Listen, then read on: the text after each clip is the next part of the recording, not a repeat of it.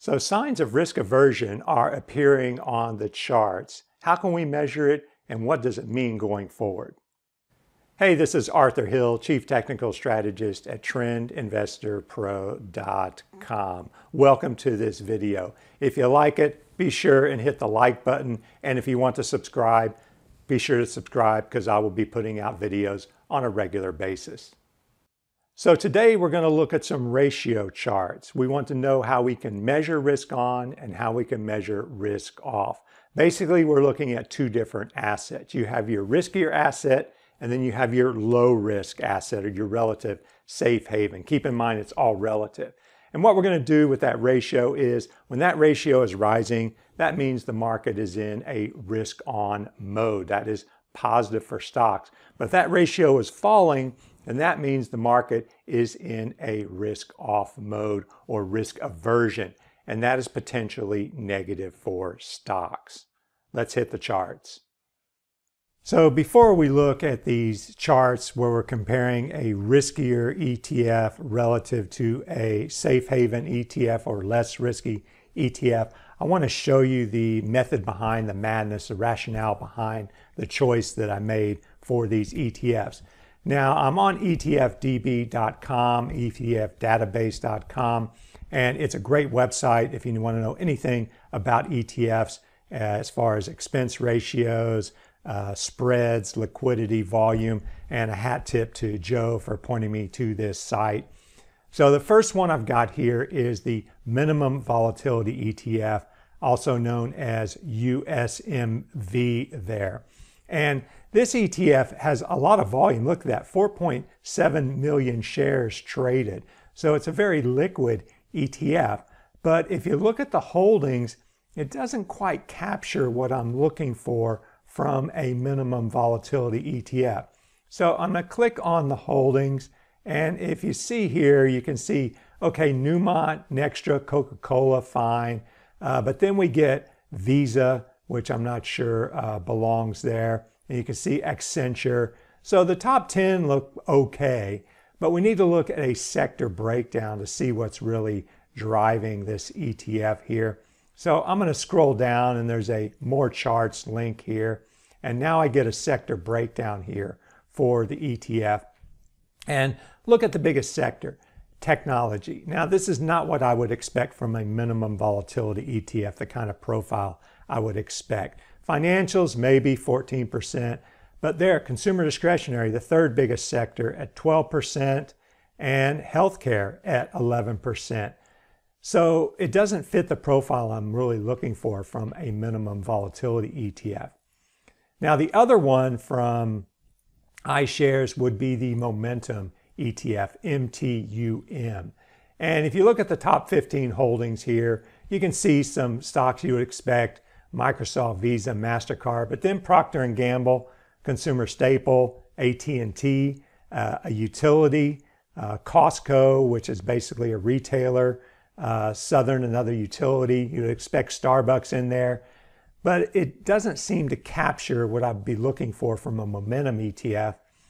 And then we look at the sector breakdown, and yeah, technology is the biggest sector, but the second biggest sector is utilities, 12.63%, and the third biggest sector is real estate, 11%.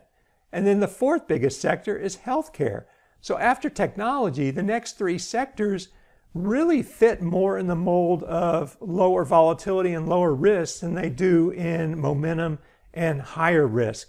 So that's why I think the MTUM is a less than perfect ETF as far as measuring risk on, risk off but I do chart it. I don't look at just one ratio pair. As I show you, I'm going to look at several, and we're going to put five on one chart. Now, I want to move on to two that I think are more representative of the risk versus high risk versus low risk in a equity ETF. And this is the Invesco High Beta ETF, SPHB. And if you look at the top holdings, just what you would expect AMD, NVIDIA, Western Digital, Micron. I mean, those are some high volatility, high risk stocks. And you go a little bit further down, and you can see we've got Adobe and Twitter and Amazon. So this is looking more like it.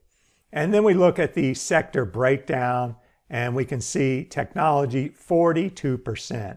That's what you expect from high beta and a riskier ETF.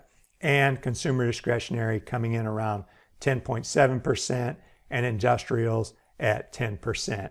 So this is looking more like the profile I'm after when it comes to a high uh, beta or riskier ETF. Now, if you look on this uh, fact sheet here from PowerShares, you can see that there's the description. It invests in stocks that have the highest sensitivity to market movements or beta over the last 12 months. So this is showing stocks that have higher risk. Now, on the other side, we have the low volatility ETF from Invesco, SPLV. And each of these has around 100 stocks. And I don't think there's any overlap, and that's the key. You don't want any overlap, and you want these to be at other ends of the spectrum. So high beta is at one end of the spectrum, and low volatility is at the other end, and that's why this makes a good pair. And then when you look at the top holdings here, you can see it's littered with utilities. And I go down to the sector breakdown, and you can see here that we have the biggest sector is utilities at 28%, and then REITs at 19%. So this ETF fits the profile I would expect from a low volatility, lower risk ETF. So this first one is the first pair of ETFs I showed you, MTUM, momentum, and we got minimum volatility, and then we got the ratio of momentum to minimum volatility. And so when this ratio falls, you have relative weakness in momentum, and that means risk off. And when this ratio rises, you have relative strength in momentum, and that means risk on. And you can see since October, momentum has been outperforming minimum volatility based on this ratio. Now, if you look at the individual price charts, they kind of move similar, but you can see momentum broke below the 200 day when minimum volatility basically held, and then momentum stayed below that 200 day in November, December, and declined. But they're both, you know, rising here. But as I said, it's not the ideal measure for risk on and risk off. Now, here's the high beta ETF and the low volatility ETF from Invesco. And there you can see SPHB in the top window, SPLV in the lower window, and then we get the ratio chart. And look how long high beta has been underperforming low volatility. But something happened in October, and we also had a bounce there in January, as you can see from late December to April, we had risk on and the S&P 500 rose. And then there's the May correction here, and that was risk off. So you had high beta underperforming low volatility, and that's what happened here. The market went down. And if we look in October, we had a big move to risk on from October to early January, but then risk moved off as high beta started underperforming low volatility or low volatility started outperforming. And there you can see low volatility moving higher led by utilities and REITs.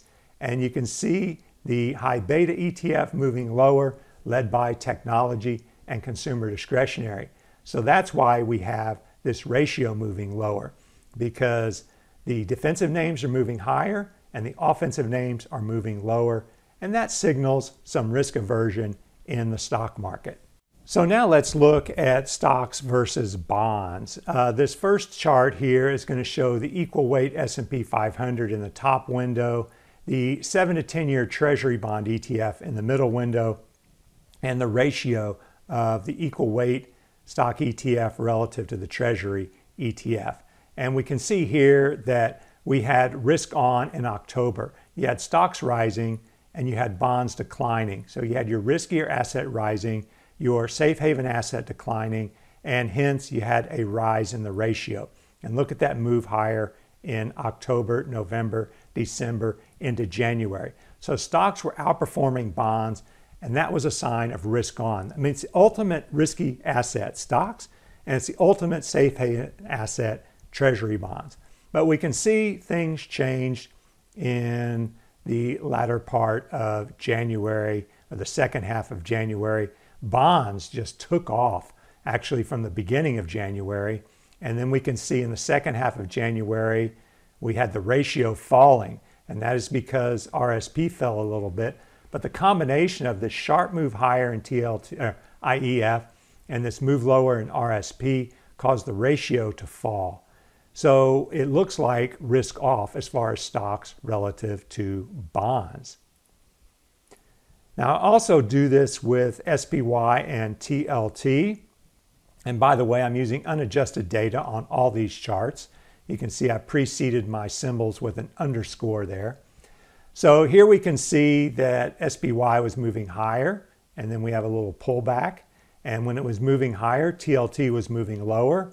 But TLT turned up sharply in January. And you can see that pushed that ratio down.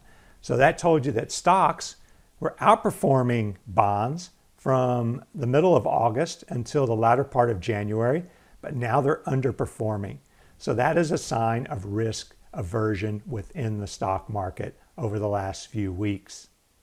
And then here is the junk bond ETF, HYG, and we can see that in the top window, and this is unadjusted. It's still trending up and it's above its 200 day. It's a slow slog higher. And then it's treasury bonds, which were moving down. And then treasury bonds shot up as junk bonds moved lower. And hence that ratio moved lower. So that told you that investors preferred or treasury bonds were outperforming junk bonds.